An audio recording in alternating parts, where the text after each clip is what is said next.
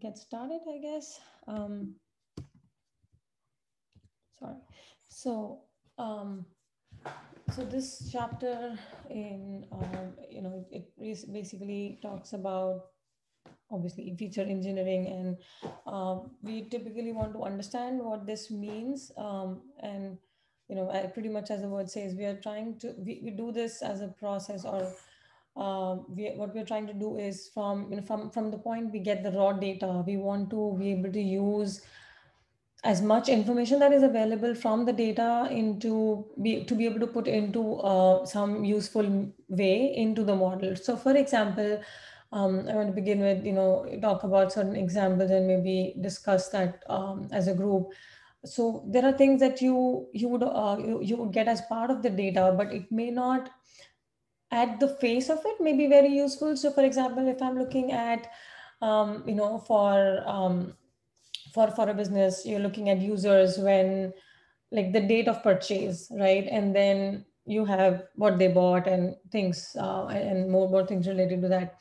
But just the, you know, having that date and putting that into your model may not serve the purpose well, but if you used it to create something out of that variable. So for example, um, what was the first date of purchase of this user? And you know if you compare it with today or a certain point in time uh, when, when you're doing the analysis you would look at what is the age of this user or how long has this user been buying.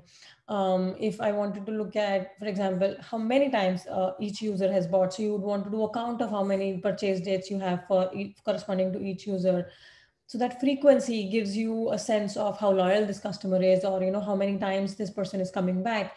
And again depending on the type of product we are looking at uh, we may have few or you know many more um, uh, what do you call the re, re uh, like the, the, the, user might be coming back uh, multiple times. Um, for uh, purchases, uh, for making the purchases.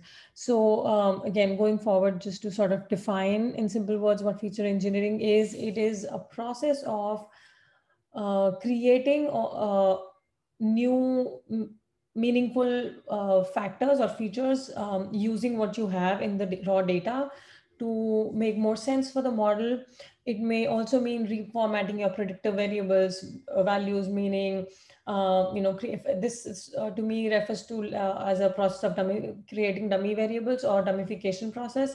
Where, um, for example, I have seen in retail, there are certain products who, which have a very high significant um, seasonality.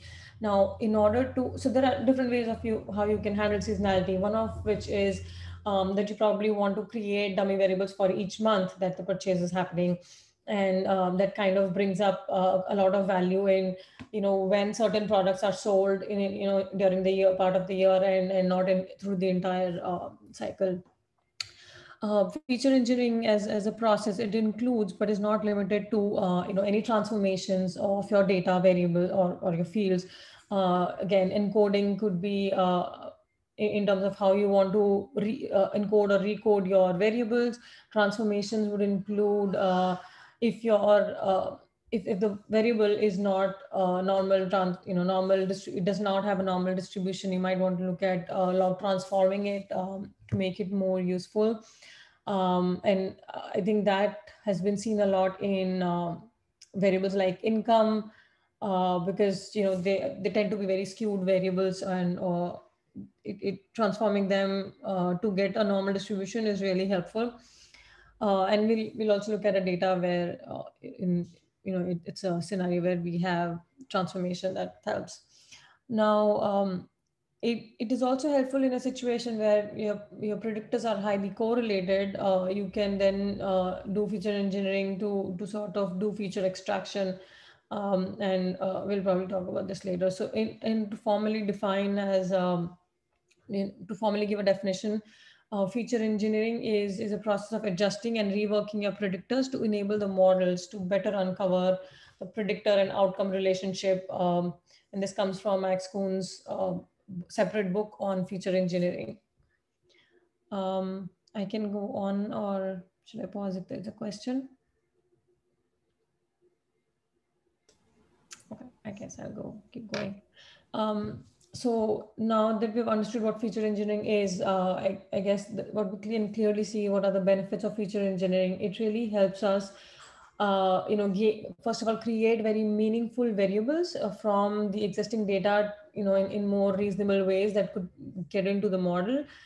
In, and in the process, we can see that if there are correlations between predictors, they can really be reduced and this helps us in the, you know, in feature extraction or removal of some predictors because there are um, if there are fields which are you know kind of uh, correlated which are which are highly correlated and you can create something which is more appropriate uh, you know maybe related to these uh, variables or has has used these uh, correlated variables into a formula. So if you can account for all the measures of um, the used uh, available variables and then you don't, you don't want to then use all you know three or four variables that you've used um, that so one that you've created and then the others that you have used to create it. So you can then you know remove them. So you're basically you're also in a way doing feature selection in this process. Um, in certain cases if you have missing values um, they can be imputed using a submodel and you know they can be extracted uh, based on um, uh, using the uh, engineered feature um, then another benefit of this process is that you know models that use a variance type measure they they can benefit from coercing the distribution. So uh, in other words, I think um, when when we talked about transformation, so if there's a skewed uh, distribution variable, uh, you can uh, you know transform it into uh, a distribution which has less variance and um, and hence it, it's uh, it's more reliable in that sense. Um, so yeah, I think uh, in this case, I I have uh, talked. I, so I brought up this one example that was given in the book, and then I, I gave a few examples of my own. And I think this is a good place where probably we can all talk about, um, you know, the kind of work that have, we have been doing, and maybe if you want more ideas about, uh, you know, the data that your your data looks like and what features you might be able to generate using that, or you know, maybe talk about what you have been doing so that maybe others can gain some experience out of it. So um, so as a as a process of feature engineering you know it, it is basically part of uh, pre-processing of your data when uh, when you're getting your data set ready to um, to be thrown into a model. Now what are some of the examples? So as the book mentions so if you want to create so you have two different variables. If you uh, want to create a ratio of those two predictor variables um, within the data set that are rather more useful than the two variables individually, um, you know, that, that ratio would be um, one, one of those uh, new, one would be a new feature. Um, and I'm thinking of it as, I don't know, sales to profit ratio or, or something similar. Um, so some of the examples that I have personally used when, um, so I have mostly retail and financial services um, experience excuse me, in one of the financial services project that uh, we were working on for um, uh, fund management company, we were working on a logistic regression where we we were able to um, uh, you create new features where we thought you know because again the number of products that people buy were very limited. So we, we looked at how many times people are buying products and we also looked at how many unique products they're buying to be able to look at their behavior or their tendency towards how likely they are to buy in future um, so that basically, you know, is giving you a sense of how the consumer is going to behave. Um, and uh, now I think after having said that, I am happy to see if people want to share um, any of their examples. Example of uh, feature engineering is that uh... yeah, like any any um, any of the features that you have created in in your work, uh, you know, and that was probably more useful than what was already there like for example i mentioned the maybe the age of uh, the user uh, considering when they first purchased or you know when, when they became for example if it's app you know when they became the member to as of today or something similar to that. Uh, i have a really boring example. Um, you guys know the titanic data set? Um, mm-hmm. right? The survival and everything. So there, one of the columns there is your number of family members. So you might have like three other members boarding with you. And mm-hmm. one of the things that uh, I think Kaggle data scientists did was took that value and if you have zero family members and you have zero like child you can you get the classification of like a i don't know widowed or something maybe you don't have any yeah so when they did cool stuff with it yeah yeah and i think um, with respect to kaggle i think i've seen that uh, uh, the better feature engineering you can do, the better your models tend to be. And, and I guess another thing is the more ensembling you do, the better, the more accurate you, your models end up being, uh, at least with, with Kaggle competitions. Um, Torin, you had an example to share? Yeah, something that I do a lot is like um, principal, like dimension reduction in space, mm-hmm. like spatial data. So basically, yeah, just PCA. Um, they, they call it in spatial temporal, it's empirical orthogonal functions, but it's the same as PCA. Um, and then a couple, a thing that I have been using more often recently is um, there's a lot of like diurnal patterns in projects that I work on. So we just use like a cosine and sine transformation of time to have like a smooth um, functions to represent diurnal effects rather than I'm not like a huge fan of, you know, indicators before noon is day and night, you know, mm-hmm. those are kind of arbitrary. So yeah, I've been using it the smooth okay and transformations. and you think that uh, helps that that better represents um, the the problem that you're working on? Yeah, I think so. Yeah. Sounds good. Cool. Um, uh, Indigo, you want to share something? Uh, yeah, actually, I worked in similar fields, so not only retail but but e-commerce and predicting uh, purchases and also predicting whether people interact with marketing emails. Mm-hmm. So I think that that's similar. One thing, so so we focused on using using uh, linear models only. So their like feature engineering was was re- relatively important. And with with time, I think that might be interesting is that it it, it, it, it, it was useful to have features like you mentioned indicator variables for all months but what we did was was like for the for the past months we split, split it up by weeks so like the the last week's week's mm-hmm. activity was was really important but then the when when we went to the past we took longer intervals so like we did, didn't want to have like 100 features for each week mm-hmm. but we did like last week maybe the months before and maybe six months before and, and so on so so we found that like the most recent activity is the most most indicative of, of, of what you will do. Yeah. but then we also didn't want to just drop the other other activities. Yeah yeah makes sense.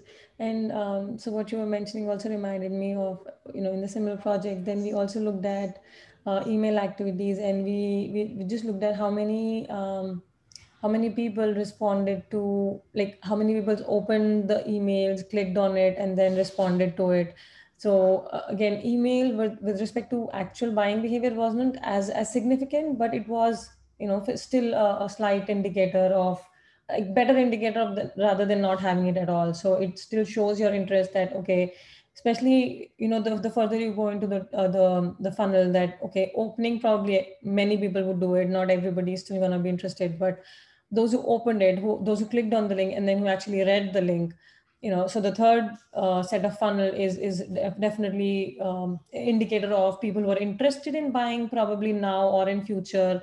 They, there could be time lag but then that that's definitely um, a positive um, thing to look at. Okay so i think those were some uh, good examples that we all uh, have have seen in our uh, practical day to day so moving forward um, so and by the way um, uh, uh, the the credit of all of this I have to you know give to Chris Martin who was supposed to present and uh, Pavitra who presented from the first cohort. So I have mixed up deck from both of them. so I, I sort you know sort of uh, wanted to focus more on the content and you know sort of examples and how to dis- have have mode of discussion instead of just presenting. So yeah, this part I think is from Chris's um, thing, um, and then I sort of mixed up some of the, some of the ideas are mine and. Um, kind of okay going forward. So um, so chris suggested and i really like this. So he said let's talk about this from uh, the culinary analogy. And, uh, and, and very validly so because we we're talking about the recipes package in in this chapter specifically. Um, so this um, whole process of um, getting the data to the point of modeling is uh, is you know in in a way designed as a recipe the package is also called recipe. Um, and so let's uh, let's try and understand how it works. So it's a three step process where you basically write a recipe then you prepare your ingredients and then you actually cook the food. Um, and the, the function names are also based off of this um, you know thought process uh, so when you're writing a recipe it's only uh, it's only that you know you're you're specifying what you want to do. You're not actually doing anything. So you're, you're just defining how the model should look like and you know this is the data that it is going to take and, and things like that. Um, but again like i said so you're not when when you run this like for example that function it is only getting things ready. It says okay you you have given me instructions. Then when you call the next function of uh, called prep or prepare that's when you um, you know based on the training data set you you start estimating the parameters and uh, you you get um, all the uh, you know model model details and then when you cook then you're applying the recipe on uh, you know training or the test data so Okay, you can probably see the function recipe functions here on the right. So that's that's that's basically um, all that goes in here. Um, so going back to this code uh, uh, from the from the Ames Ames, I think that's the right way to say it. So this is what we are doing. Um, so when we create the recipe, we're just giving it the formula, and here uh, by giving the formula, we can we're in, uh, inherently defining what my outcome variable is going to be. So sales price is in this case is the um, uh, the outcome variable. Then uh, these are rest of the uh, other fields are what we're using. Uh, these are all the predictors that we're separating by a plus sign. very similar to you know how if you've used LM, um, that's how it looks like. And then you mention what data you want to use it on uh, it allows you to, you know, uh, perform a lot, uh, series of steps, which are basically for pre-processing. Um, so step log function, and I think um, there is there is a appendix which gives you a whole list of what all functions can be used. Um, so so step log basically is allowing you to do a log transformation, as I was saying, and um, I think we've, we've discussed this in previous chapters of how the distribution of all these uh, different variables for this uh, data set look like. So um, I have avoided, you know, putting all those visuals. Um, so if we, if, so this space, uh, specifically this field uh, about the living area um, is, uh, is, is skewed and hence we want to uh, look at the log transformation of this. Um, then we can, uh, uh, we can do other sort of transformations and then dummification using step dummy and all nominal predictors is again another function that it provides by uh, it helps you just take all the um, categorical variables or nominal variables and you know if you want to do it like if you want to dumbify one specific variable you can you know obviously put that or if you want to do it on all um, this allows you this basically will pick up everything from this data and uh, help uh, create the dummy variables for all of them. So like i was saying earlier it could be for all the uh, month variables for all the purchases, or we could look at um, something like uh, this this neighborhood variable, which is uh, you know in in terms of uh, whether this is um, uh, what do you call um, it's in the school zone, it's, it's in the good school zone, or yes or no something like that. Or you could look at um, is this close to the you know uh, iowa university state university yes or no or um, how far is it maybe distance wise buckets if you want to create that. Um, and then um, step interact it is uh, this is basically to account for interaction effects um, i have deliberately not talked about in the presentation a lot about the interactions Um, but I had some notes from the other presenter. I can, I'll probably add if there is interest. But I, I mean, I as a person, I'm not, I wasn't sure if I'm, I, I'll be able to do justice to that topic, but I'll probably skim through it if there is time. Um, and then I guess that's about it. So this is how um, we would we would define a recipe, and then we would. So this this piece is where we're mentioning what the pre-processing steps we want to do on um, on on certain fields. So again, it, we don't have to do all the preparation before. We don't have to prepare all the data sets um, prior. Sorry, that was my neighbor doing his yard work. All right, so moving forward. So Hey, I um, again, like I said, if you don't we- I think looked at the data set, but quickly looking at a subset of it to to start working on an example. Um, so skimming the data Uh, set. sorry, Priyanka, uh, Jivan had a question. Sorry? Sorry. Um, just a quick question for me. Yeah. Um, have you guys used juice before instead of bake? I th- no. Okay. I think it's just uh, uh, same thing as bake with new data is null. Uh, that's my understanding. Uh, okay. I've used it once, but I think I've used it once after bake to get back the data after it's you've done everything to it. I that's like you you bake it and then you know then I think you actually pull the data set with like all the features and stuff changed to it. That's my understanding about juice. Um, I had a question if you can you go back one slide? Sure. In those steps, I know the order matters to some degree, but how specific does the order have to be in like the series of steps? Because I know like obviously log if you use you're gonna log and if you want to reference that log later on, but like. That's what I was for the other for the other steps, how important is it? Um, I mean, I, I don't know if I have the right answer, but my sense is as long as the your your variables are independent of like if you're not using the logged uh, living area variable for something else, right? It doesn't matter, right? Because as long as we are, we are doing three different things on three different variables, they're not dependent on each other, right? So if, if you want to do first before the second or third before the first one, I don't think the order should matter. But that's my understanding. I don't know if anyone has maybe done it and seen issues with it. I think you are right. If they are independent, then it shouldn't matter. There's I just posted a link to an to an article that that they suggest a general ge- general approach Mm-hmm. to be on the safe side, I guess. So Yeah, I think you gotta really watch out when you're using uh, things like all nominal predictors, because you implicitly ex- uh, exclude out the uh, outcome. So if you if you were to use just all nominal, it would include the predictors, or sorry, uh, the response. So it gets messed up when you rerun it. Yeah, that makes sense. So especially with all those categorical variables, if you want to specifically work on one of them, and then if you've already done this, then you will that that particular variable won't exist. So yeah, that's fair. Yeah, I think even with this one, then uh, makes sense. Okay. Uh, any other questions? All right. So I guess this is the quick data summary. We, I'm sure we all kind of know about it.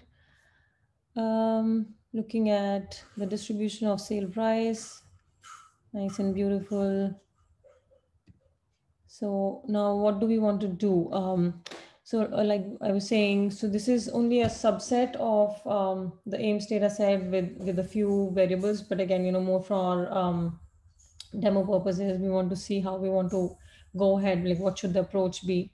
So we want to set the seed. So because, you know, when, when we are pulling um, this, um, when you're doing the sampling, um, you, you want to be able to reproduce your results. Um, then, so initial split function would help uh, doing the sam. Uh, yeah, we are, we are uh, basically splitting our data into test and training. Um, and yeah, I mean, simple, very explanatory um, function names. Um, uh, only thing I think worth highlighting here is that this is this is a, a stratified sample based on sale price, and um, so again, the neighborhood um, is uh, is a qualitative variable that we're looking at here with with lots of values. Uh, the general living area is a continuous variable, which um, we, we talked about earlier. We have log transformed. Uh, year built again. Um, we could probably also look at looking at the age of um, the house instead of the year built. Um, but uh, for now, we're just continuing with this uh, building type, which has five le five levels or five um, possible values. Um, now, this is one th which we could uh, use for, I think we, this is the one we use for dummification. So, and you know, I'll, I'll also have example of how the dummy would look like. Uh, I think somebody had a question.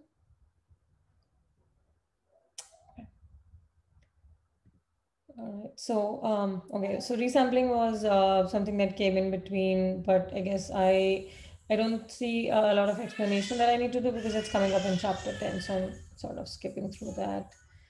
Um, so yeah, so uh, before we actually talk about how things would be done in recipe, um, I just wanted to sort of bring parallel to it using LM because I think for me, I have done, uh, I, am more comfortable, let's say, with parallel or uh, with LM function, or I've done it more before because I've not used recipe, of course. so um, it's it's pretty similar in that sense, like I was mentioning earlier. You you define your formula uh, and you uh, start with you know you, you have your data set. You you start with the formula of what your outcome variable is, what are your predictors um, and this is that how that formula looks like. So when you run this LM function, you store it in an object, then you, you do a summary function on that object to give you the results um, of you know how that model ran. It also starts with saying, okay, these this is the um, this is the formula that was used, and then how the predictors look like. What are your param? So for for uh, linear regression, what were your uh, parameter estimates, p values, r squared, and whatnot.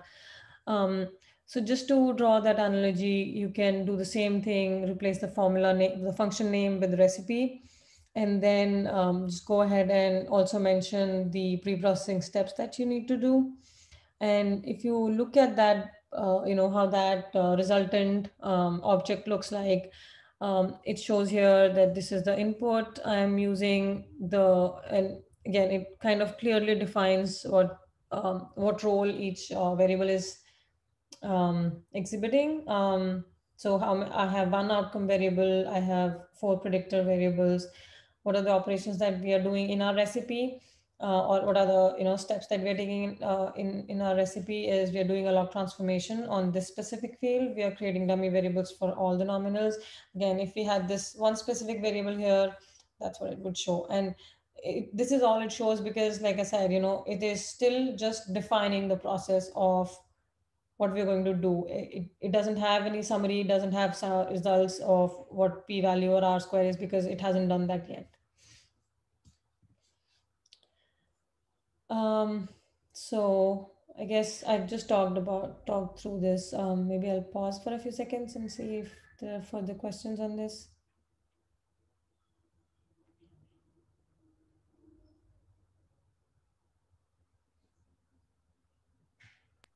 Nope, I think you're good. Okay, thank you. All right, so now that the recipe has been set, let's prepare. So we'll use the prep function, uh, mention what data you want to train, you know, like we, we've done this, uh, we created this when, when we uh, use the initial split. So we have the training data set, we have the test data set um, that we pulled out from, um, uh, from the, uh, what is the process called? split sampling. All right, and then um, so this now when when I look at this object, it shows me is again um, the role. Uh, it gives me a little bit about the data, um, and then uh, I think like I was saying earlier, so in in the prep it is telling you what what all variables. I think this is only different thing that we've seen from before. So now it has picked up which nominal variables it, it is uh, taking to uh, you know uh, dumbify it. Now, I think it's important here is because I have at least uh, had many challenges where you sometimes you assume that this is how your data uh, or your fields are going to be like this data type, but you know it ends up actually being, for example, something supposed to be a factor or it's supposed to be a categorical variable, but it is considered as numeric for for obvious reasons that you know um, for example i was looking at um, for, for hypothetical example let's say a, a, flag variable which is which has values 1 to 5 and you know there is a high high chance that when you're reading that data r, r takes it as an integer or uh, you know maybe considers it as a double and treats it as a uh, more of a numeric variable rather than um, uh, a nominal here. And hence it will not be included. So now when you look at this and you're like oh why did the flag variable not come in? I would want a flag uh, dummies for you know one to five or sorry two to five or one to four dummy um, for that as well. So this would be a step where we basically figure that out or you know helps debugging in that sense. Um, now with, with this data now you can look at how many rows i have. This is what it is showing um, you could also, uh, you know, read it in more tidy way using the tidy function. Um, and I guess that should be it about this. Uh, this is a log, step log, step dummy on the trained data, which is true. Um, so this is logical character. I guess that should be uh, good. Yeah do you know about so why you would use this tidy function? I didn't really get it. So i get that it it gives you a nice data frame but why would you be interested what you just defined yourself? So why why do you want that? Okay good question. Not that i have answer to that. Uh, i guess i'll check with uh, the other guys and uh, come back to you. Well maybe ask it on the group so maybe somebody else has answer I um, think um, um, when you're doing a PCA, I think doing a tidy is important because you extract the principal components, if I remember correctly, when you tidy the, uh, the whole thing. Okay. All right. And um, so I uh, think I wanted to bring this up because I, I saw this in earlier discussion. So uh, I think Edgar, you had mentioned earlier about uh, you know keeping your original data. So I think that retain is equal to true is one of those options that lets you, uh, you know, bring back your original data. If you, uh, so if what, what this really means is you, you know, you, though you're doing your prep, uh, it probably um, is not going to overwrite on your uh, original data. Hope that makes sense. I don't think it's about the original data. I think it's about keeping the the prepared training data in memory. Like like you don't wanna do the same calculations again and again, but but keep the prepared data with the recipe at least. On The help page, it's keeping the pre-processed training data in the so in that simple Ames I think it would have a slot that has the data before it was. Yeah, so I, I, think that's that's why I I tend to call it original data. Uh, yeah, maybe then, then I misunderstood it. I, I thought pre-process means that you you you, you apply the pre-processing steps. Yeah, so I think. Uh, well, I think applying the steps then means it's post process. Yeah, correct. So yeah, the, that those are basically the processing steps. So if you want to go back to your uh, steps, you know, go back to the original um, columns where you did not apply the steps. I think that's what it means to retain them. Uh, yeah, I think I think if you scroll down, I think it shows. No, it doesn't. Um, but yeah, I think you guys are right. I think it asks the question is should the pre-processed data set be saved into temp template slot of the recipe after training? So i think it's does it and then it saves it into the into simple Ames. And i think that's like similar. Yeah so i think that's what it is. I think it's asking you do you want me to save this? And you say true or false. Mm-hmm. yeah wait if you don't save it can you not bake it? You can but i don't think you then have to do it in the baking process, I think. So like this, and it, it, the documentation says like you do it just in case you want to add more steps later on. Yeah, and I think I I personally see it more for I mean more useful for debugging purposes. I mean that's that's how I tend to do things. Um, but I'm not sure if there's anything else also mentioned in the um, documentation.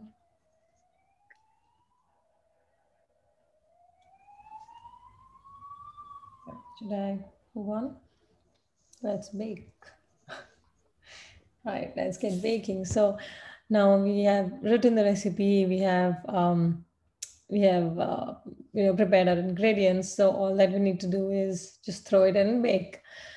Um, so again, you mentioned uh, now, you know, you have created the model with the training data. Let's throw in the test data and see um, how it applies to it.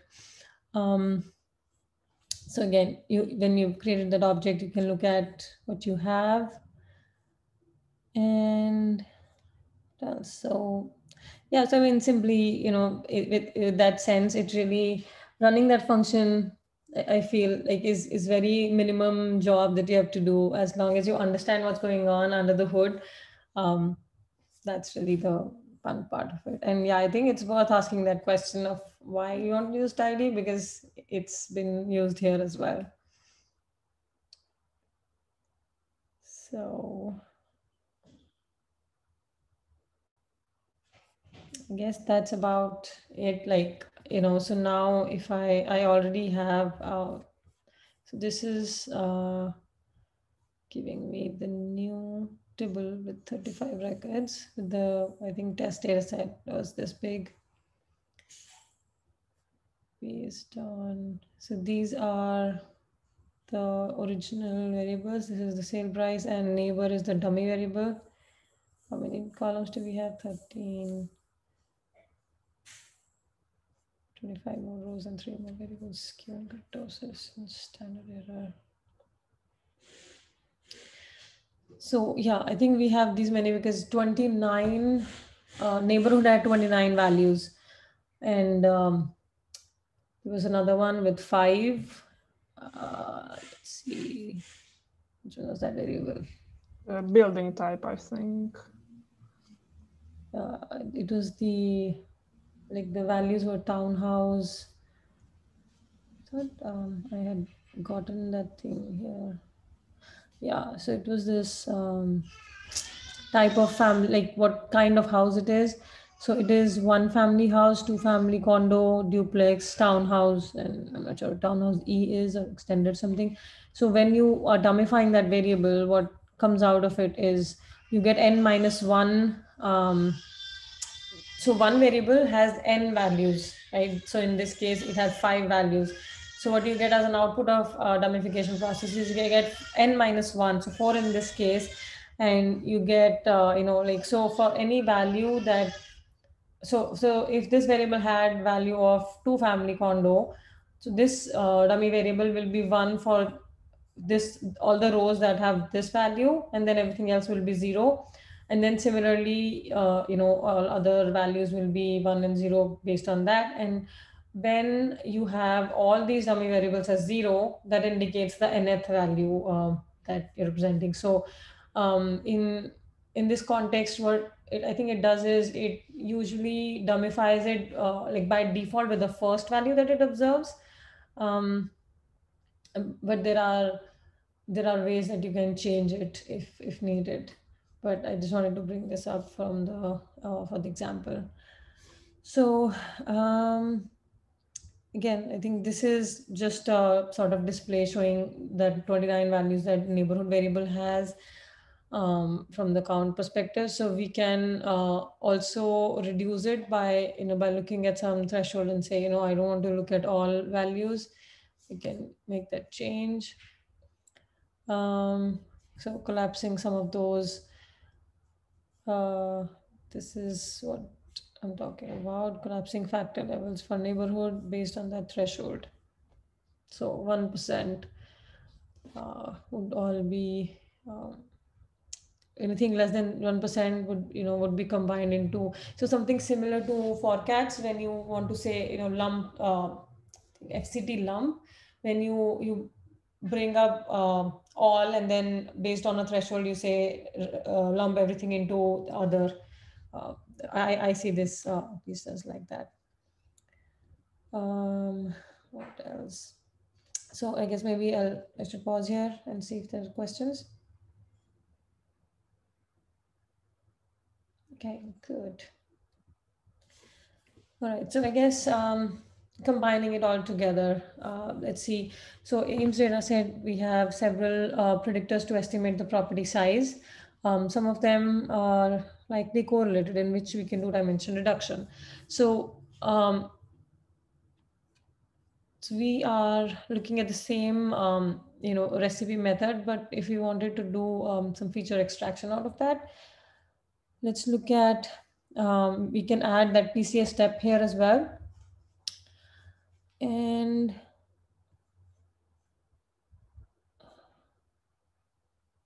okay um yes um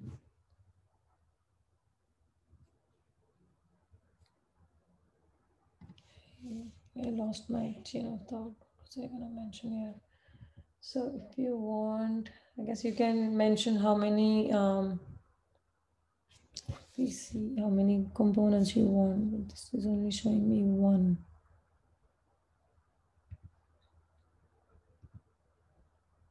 Okay, I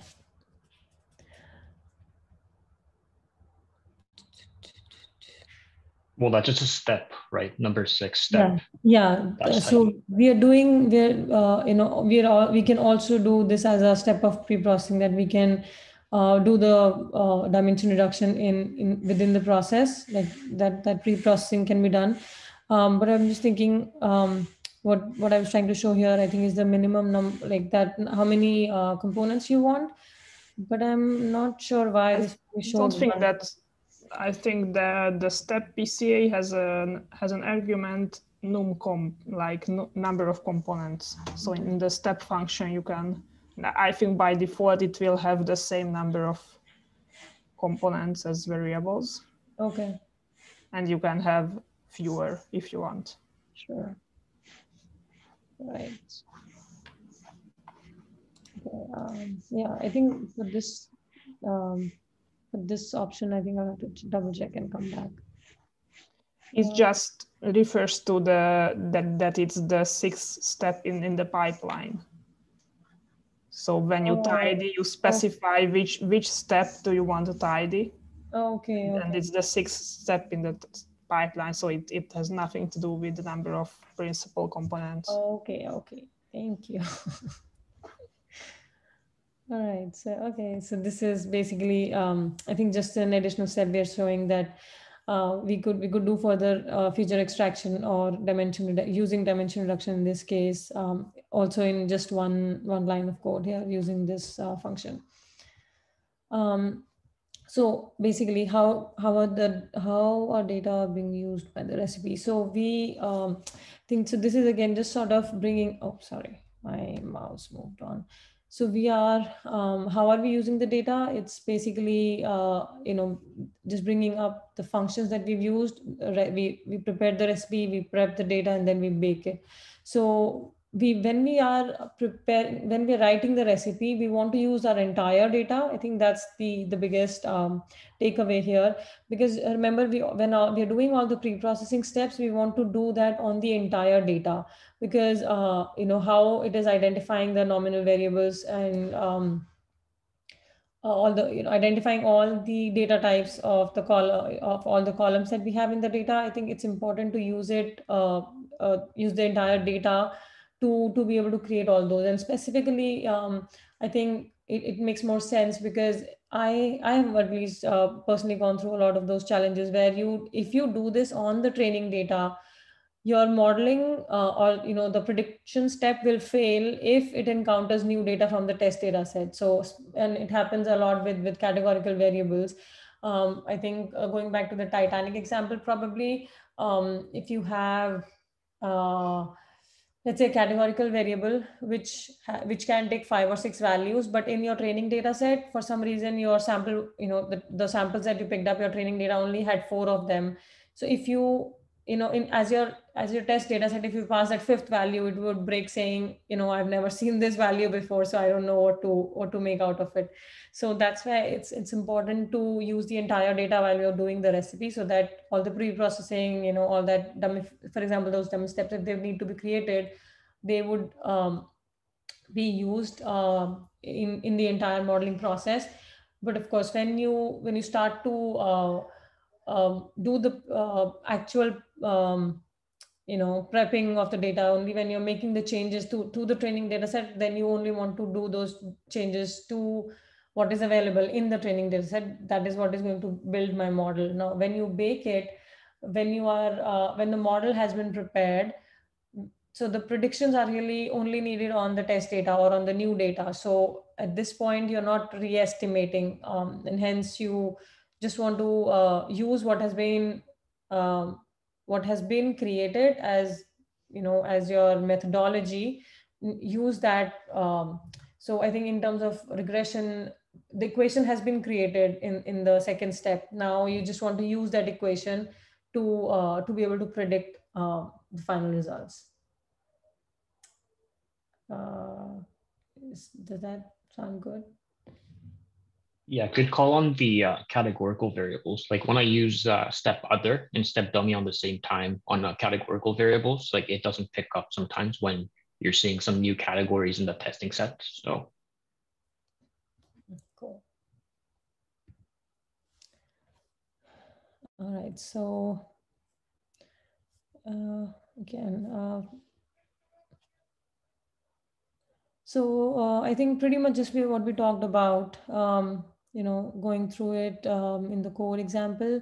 So this, uh, when you when you prep the final Ames recipe, you can you I mean you start with the prep function, then we bake it, um, and we say. So similarly, I can use the same thing and say, okay, uh, like again, sort of drawing parallel uh, you want to look at, okay, this glance is a new function. I, am used to using summary function for, uh, you know, looking at the object.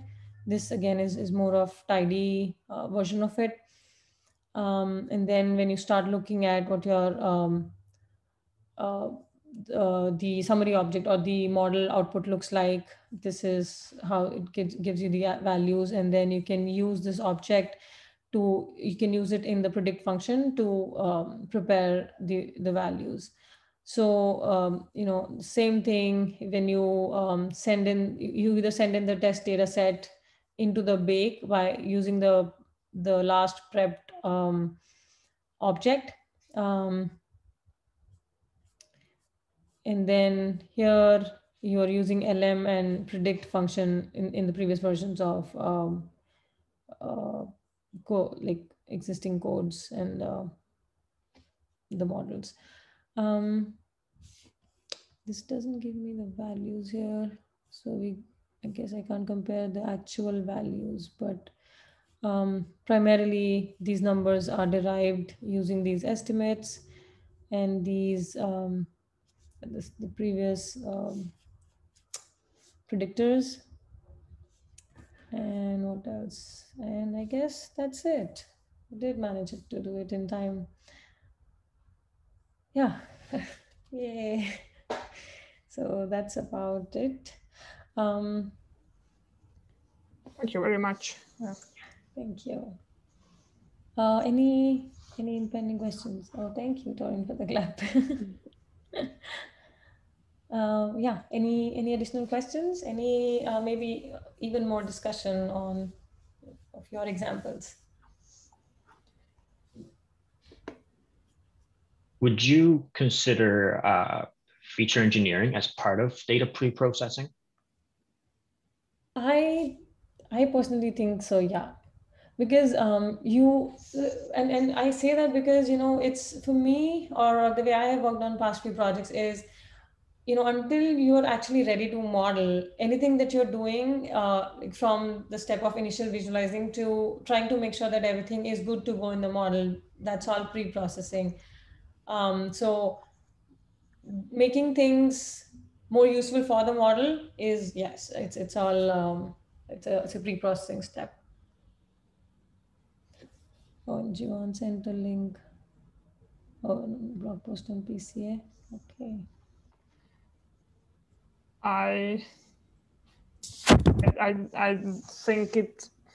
So uh, one one other viewpoint might be that for different models you might need different feature engineering or different feature engineering might make sense. So for me, probably you have some things that you will do with every type of model, maybe taking the log transformation or creating dummy variables, but others such as normalizing numeric variables Right. are only needed by some specific types of models. So then it's for me it's more part of the modeling because it, it depends on which which type of model you use. Oh, yeah, that's true. And I think, in fact, the book had an appendix link where it mentions where you want to, uh, there are few models where you would need to do the normalizing and centering versus others. Uh, so, yeah. In fact, I think that's, um, if, if we still have time, probably we can talk a little bit about how you um, approach normalizing because I, I don't do a lot of those pieces, but I think I want to understand like what are those like what and how of uh, how you do the centering and normalizing of um, data? Or what are some scenarios i think to begin with where you need to do that? Some models have like scale dependent, like lasso, right? And ridge regression. The tuning parameter it, for shrinkage it, is scale dependent on your predictors. mm-hmm. So if you center and scale everything before, um, it's easier if like for me I do I had to do like a grid search like I didn't use the cross validation tuning I did it like outside but I was having problems because I wasn't centering and scaling everything um, right so um, i think I, I i don't get those technical terms so much uh, well but i think I, I understand that scaling issue is so if my predictors are something like age and income you know Mhm. so income is running into hundred thousands and then age is obviously anything you know between two digits two digit number Mhm. So if i'm using these two in in in these kind of models like ridge and lasso uh, income would always have a higher impact because it, it is on a larger number scale. Um, and and so i understand the need of it but i guess next step is um, how do you do that? So uh, one you said centering so are you, or, or when you say normalize are you saying that everything we bring it between zero and one like in both the cases? No. No it just means you subtract the mean the sample Oh, mean and divide by the sample standard deviation yeah okay So everything is approximately like zero, mean zero, standard deviation one. okay okay okay gotcha so and then centering uh, is centering and se- normalizing same thing or is it different Centering is only subtracting the mean, and normalizing is subtracting the mean and dividing by the oh, standard deviation. okay. Thank you There's a step normalize if you don't want to deal with it. That does both Yeah. for you. okay, Um, thank you. Uh, and do you have a link for that? I thought oh, you said send, send something. That's very helpful. Thanks, Torin. Because I was like always not too clear on what is normalizing and how is it, how is it different from centering. Always mixing it up. Yeah, and then you get your like random forest, right? Where you don't have to do anything before you feed anything. hmm Yeah, but that is true? the var- variable importance affected by the scale of a variable? Oh, I does don't it? know. In I'm not random sure. forest, I, um, It might depend on. I I think I've read somewhere that in uh, in the decision trees it does not matter so much. Yeah, in the building the model, but you know, you can like look at those variable importance metrics hmm I don't know if those are scale, like sensitive to scale. Yeah. When I just realized there's also something called standardization, and I this is back from my um, uh, SAS days. Uh, so I think there we used to. So when you mentioned Jivan, the step normalize, there is there is also a standardized function in SAS that used to do I think the same thing. Um, uh, wonder if it, I mean, with, with R, is that the same? So standardize also is same as normalizing and like meaning centering and then dividing by standard deviation? I personally would say that they mean the same thing, yeah. Okay. And outside of, I don't actually really ever use, like, I'm in this book club because I've never used any of these packages. So when I do that normalizing, I just use the scale function in R. Okay. Yeah. Good to know. Thank you. Wait, what kind of things do you use if you don't use these packages in R? I just code. I mean, I use like the tidyverse, but I've never used tidy models. It just used the base, like Like, everything else. She, she works a lot on spatial, so I'm sure she does those things she works on, like maps and stuff. Is there like an ecosystem there, like we have at you know tidy models in spatial? There are some big spatial packages, like um, SF is like a big one. Mhm. I think I've only used Um, that to make maps, to be honest. No, I used Leaflet for maps once. Yeah. Just for show off. I can do that. well, there's like ggmap. Yeah. There's- I've used. I I think there is one um, googleVis. I, I used it for something long back. Yeah. Uh, The Google thing has changed recently though, and how they like authorize it. It's gotten harder to actually use Google Maps in R. I think Okay. it might have changed. It might have been updated, but like two years Mhm. or a year and a half ago, it was like Yeah. something just changed, and